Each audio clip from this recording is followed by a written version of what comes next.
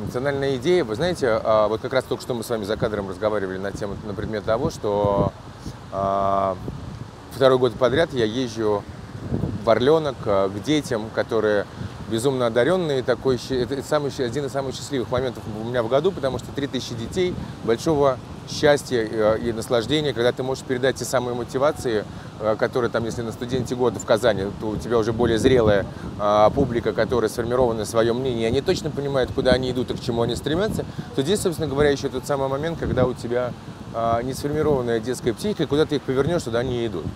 Но а, та церемония даже открытия, помпезности и всего остального говорит о том, что ты находишься в государстве, в государстве российском, потому что звучит тот самый гимн, в котором, а, собственно говоря, по, которому все прекрасно знают в нашей стране, а несут тот самый российский флаг, который точно так же все знают в нашей стране. И вот этот вот момент открытости и торжественности, конечно же, присутствует. Вопрос только, куда этот флаг понесут потом вот эти самые маленькие дети.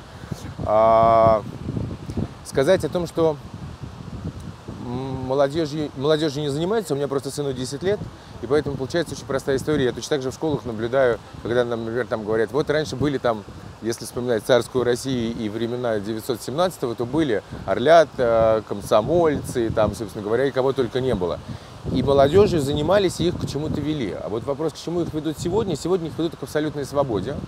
Абсолютно то, это я, э, это я, в этом я абсолютно точно уверен. Свобода, с одной стороны, это путь в никуда, конечно же, а другой, с другой стороны, это формирование или отсутствие формирования этого же самого вкуса. Хороший вопрос, на самом деле, к чему сегодня мы идем. Если в семье образован, а, в образование и воспитание ребенка вкладывают а, те самые сильные понятия семьи, добра, открытости а, и всего остального, то явно государство куда бы ни привело а, этого гражданина, он останется самостоятельной единицей. Все остальное приведет к стадному чувству. Вот куда мы идем сегодня, на мой взгляд, это к большому стадному чувству.